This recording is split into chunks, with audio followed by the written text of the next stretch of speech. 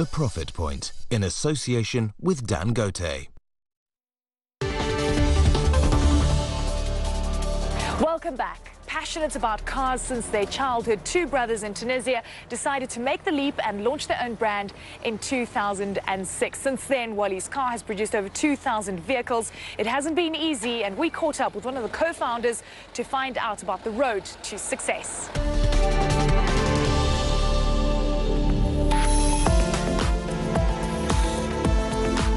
The first inspiration for starting a project like Wallys Car in Tunisia, it's my passion for car industry since I was young and the love of my country, trying to do something great in my country.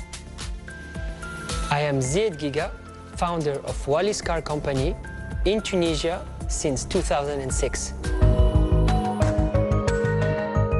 I had the chance with my brother Omar to meet Mr. René Bosch, who is an old car manufacturer in France.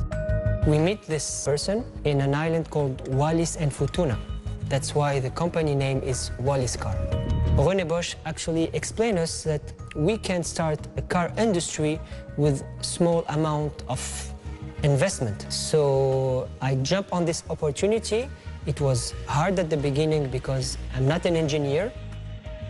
René Bosch helped us with his know-how, with his contacts, with his network to start this business in Tunisia. And my part was to convince shareholders, to convince the ecosystem, to convince the supplier to work with us in this new challenge for us.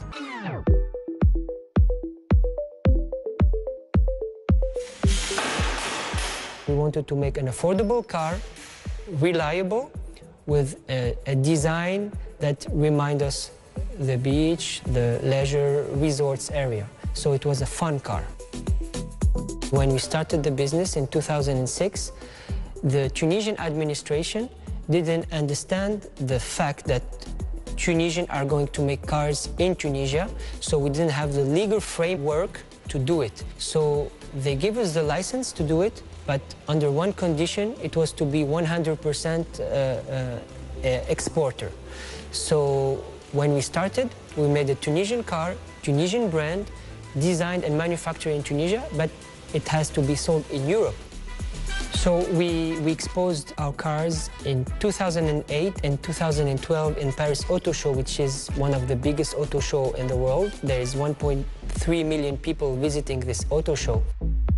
When it was approved by the French regu regulator, uh, it was a big sense of pride to be there as Tunisian, as African, to be the only car brand uh, certified for Europe.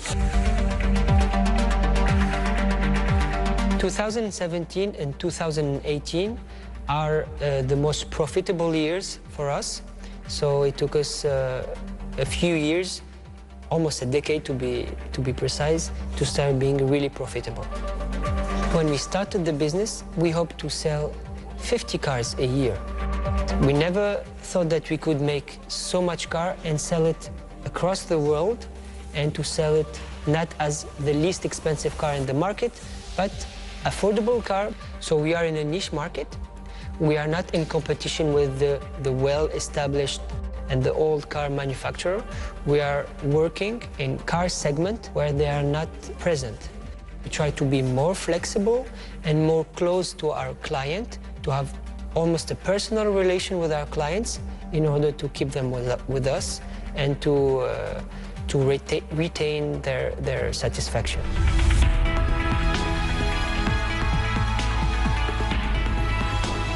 So we have some investment opportunity to make micro plants, micro factory in countries such as Ivory Coast, Nigeria and Cameroon. We need to grow with raising capital, raising money, and to invest it in the right direction, invest in the capacity of production so the company gets bigger and to manage our growth. Our goal is to make around 3,000 cars in the next few years and it's also to become a regional brand. Well, thanks so much for watching this edition of Marketplace Africa. Don't forget to catch our past stories on our website and take a look at our Facebook page. From me, Eleni Giokos, here in Johannesburg, I'll see you next time in the Marketplace.